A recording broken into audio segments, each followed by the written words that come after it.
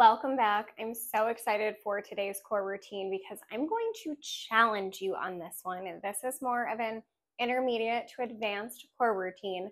So if you are more on the beginner route, do not hesitate to take some breaks. You don't have to do all of the reps. I really want you to focus on form and connection with your body.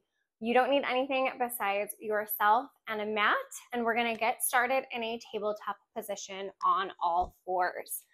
Make sure that those wrists are directly under your shoulders. Fingers are spread out so that you can place each pad of the finger on the ground. Your knee is directly under your trochanter. I'm going to have you tuck your toes under, pull your belly button in, take a deep inhale on your exhale, lift your knees off the ground. We're going to hold this here for 10, 9, 8, 7, 6, 5, four, three, two, and one. Release. Take a deep inhale. As you exhale, pull that belly button up towards your spine. Lift again for 10, 9, 8, 7, 6, 5, 4, 3, 2, and 1. Excellent.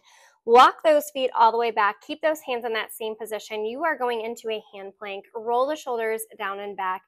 Take a deep inhale as you exhale, pull that belly button in. We're holding steady here. We have a 15 second plank, nothing crazy. We're gonna be adding on to this. Six, five, four, three, two, and one. Step it back in, set those knees down.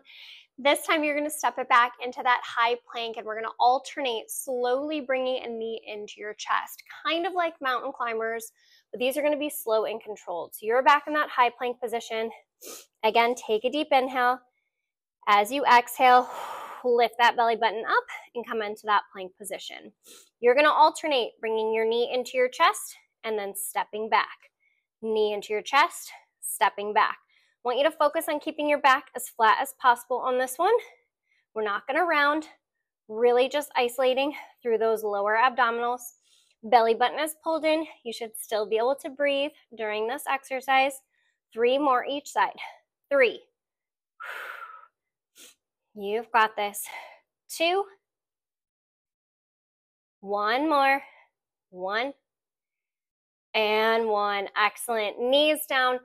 Bring those arms onto your forearms for a forearm plank. You can either have palms facing one another or palms down to the ground. Try not to prayer those hands because we don't want to round our upper back. We want to keep it as flat as possible. You're going to step back into that high plank position. Again, wrists are in line with your elbows. Elbows are directly under your shoulders. You are in that forearm plank position. Take a deep inhale. As you exhale, lift your belly button up. You're going to alternate tapping a knee to the ground and pulling it up. Knee to the ground, pull it up. Belly button is engaged the entire time. You're pulling it in. Make sure you're not holding that breath. It's really easy to hold that breath, but we don't want to do that. I want you to focus on your form. Keep that core engaged. You got it. Four more. Four. Three. Great job. Two. One more. One. And one. Excellent. Flip over, extend those legs out in front of you. Take a deep inhale here. As you exhale, we're going to create that C curvature of your spine. So you're going to be rolling back in this exercise with those legs nice and long.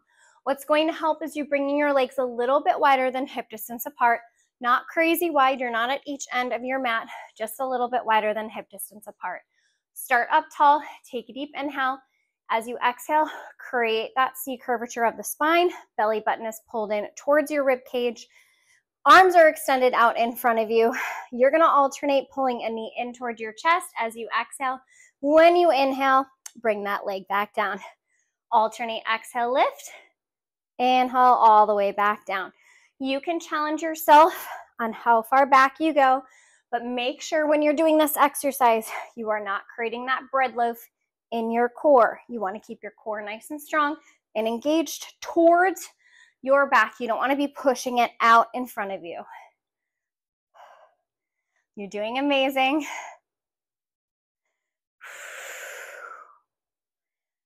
Five, belly button in. Four, three, two,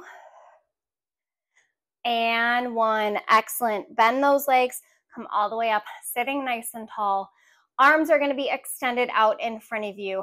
You're going to take a deep inhale as you exhale, create that curvature and lean it back. Belly button is pulled in strong. Eyes are going to follow your left hand. Left hand opens on your exhale. It closes on your inhale. Right side. Exhale. And inhale. Belly button is pulled in the entire time. Exhale. Left side. And inhale. Think about your core. Is it pulled back towards your belly button? Slow and controlled is key. Can you lean back just a little bit more? Challenge yourself here. Really rotating through. Two more each side. Check yourself. Is your belly button pulled in? If not, pull it in a little bit more. Last one. Beautiful. Sit up nice and tall. Take a breath here.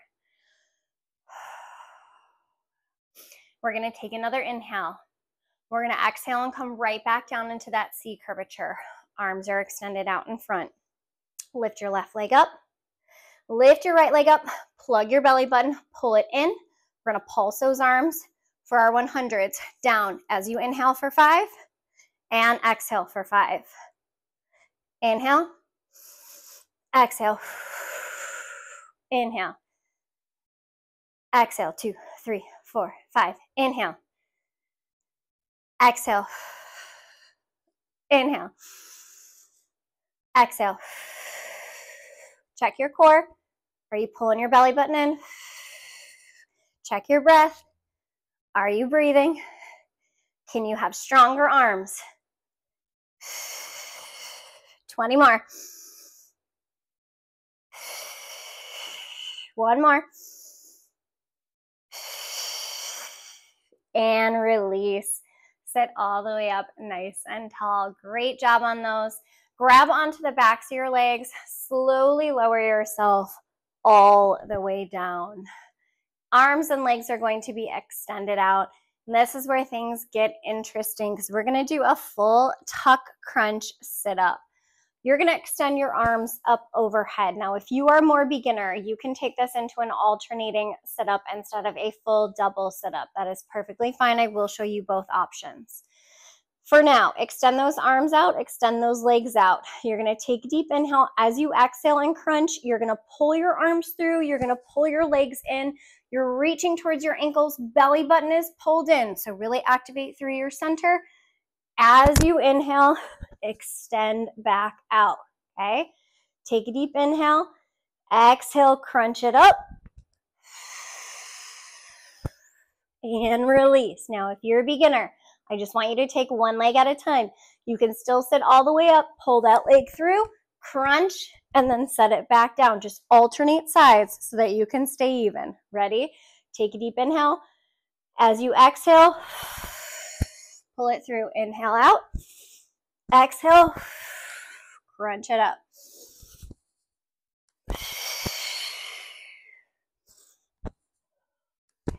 Use that core.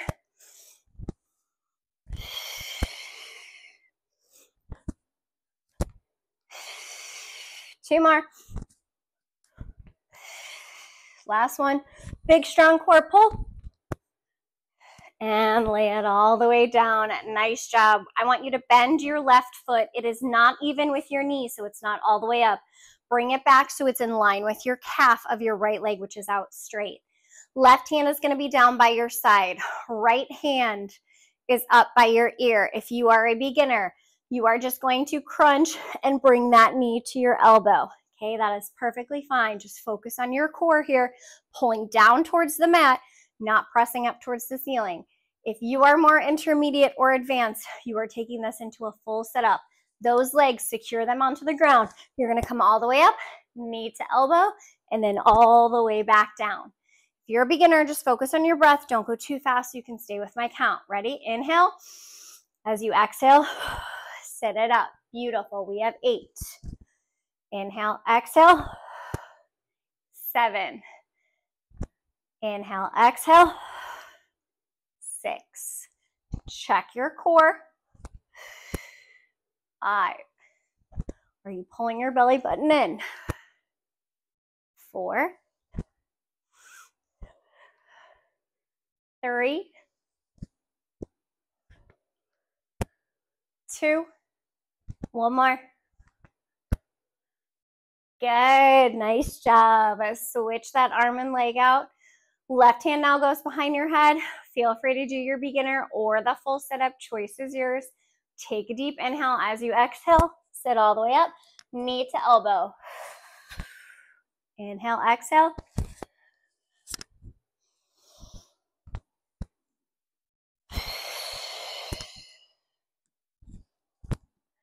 Make sure you can hear my breath so that you time this perfectly. Amazing job. Three more.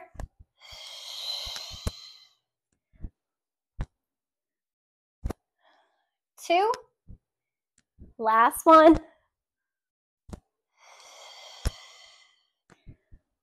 Beautiful job.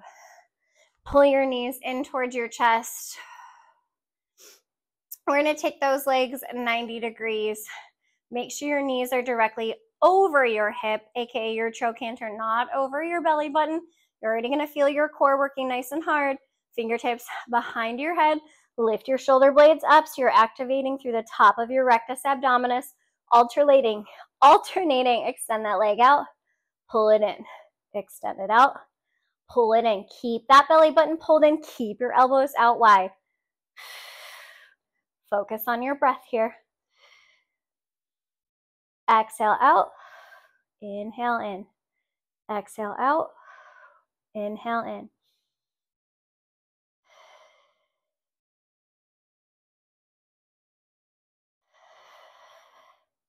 Two more each side. Is your core plugged? One more each side. Beautiful. Rest your head down for just a second. You can pull those knees into your chest. You're to extend those legs back up towards the ceiling. This time they're nice and straight. Shoulder blades are rolled off the ground. Pull on to one calf. You are going into those scissor drops. Double squeeze in and switch. Belly button's plugged. Pull it in towards the mat. Nice straight legs here. Point those toes.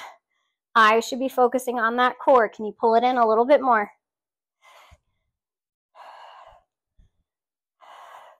Six, five, four, three, two, and one. Beautiful.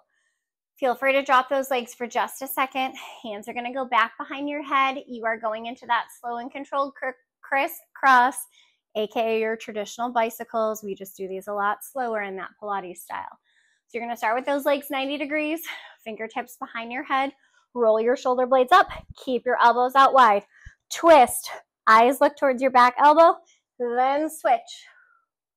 Be mindful of your core here. Pull it in a little bit more. After you rotate, really activate through your entire core, your rectus abdominis, your internal and external obliques, and your transverse abdominis. Those are all working hard on this one. Notice how slow we're going. Burns a little bit more. Four, three, two, and one. Excellent. Feet are going down. Separate them a little bit away from the body. Don't have them directly under your knees. Pull them a little bit farther away. Bring those arms up overhead. You are going into a full sit up. Activate through your center. Reach it through. You're going to sit all the way up. Reach towards your ankles, ceiling, ankles, and overhead. Ankles, ceiling, ankles, overhead. Use your exhale to lift yourself up. Take a deep inhale on the way down. Exhale. That core is working. Four more. Four. Great job. Three. Up, down, and reach. Two. One more. We're going to hold this one halfway. Come halfway down.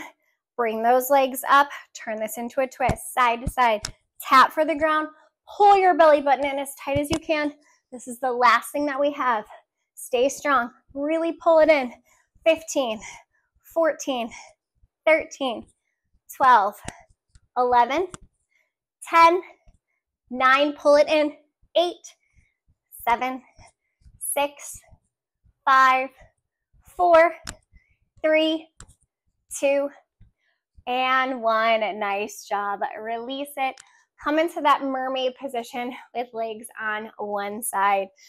Grab onto your ankles as you reach over to the side, stretching out your side body, and then mermaid it to the other side. One more time, reach it over. And release. Beautiful. Swing those legs around to the other side. Grab onto those ankles, sit up nice and tall, reach it over. Mermaid it to the other side. One more reach over. Beautiful. Thank you so much for joining me for this quick core workout. I hope that you enjoyed it as much as I did. I would love to hear from you in the comment section what you want to see more of, what you liked about this specific routine. I am so glad that you are here to join me in these workouts, and I look forward to seeing you again tomorrow right here on the mat.